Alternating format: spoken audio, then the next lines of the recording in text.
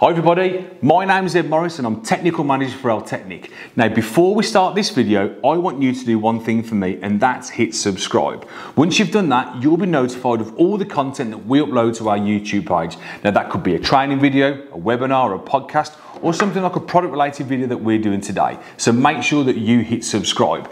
Now the product we've chosen today is filling loops or a filling loop. Now these are probably the most installed product across the UK today in sealed systems because they're key and they're critical for what we need them for. The way a sealed system works, we've got a water supply, so the wholesome water supply or mains water, and we've got the secondary system, which is our heating system or tertiary system. But somehow we've got to get the water from A to B, and that's where the filling loop comes in.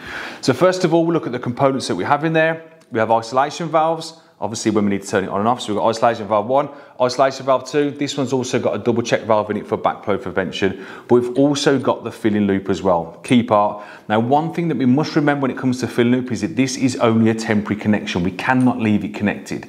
That's to do with backflow prevention. We've got to make sure that we've got that physical air gap between our heating system and the wholesome water supply. So please remember, as water reg states, please disconnect the filling loop. Now, a lot of people ask us where they should install a filling loop.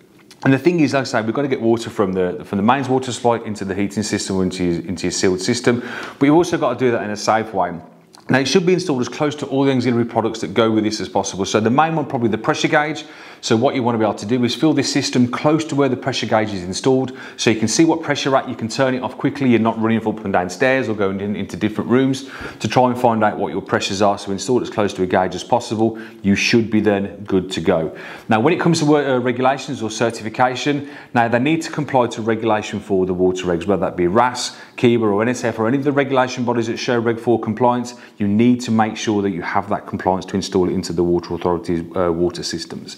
Now, if you want any more information on this, please visit our website, which is www.altecnic.co.uk, where you will find product information, but you'll also find some good technical documents and some know-how documents. Thank you for watching.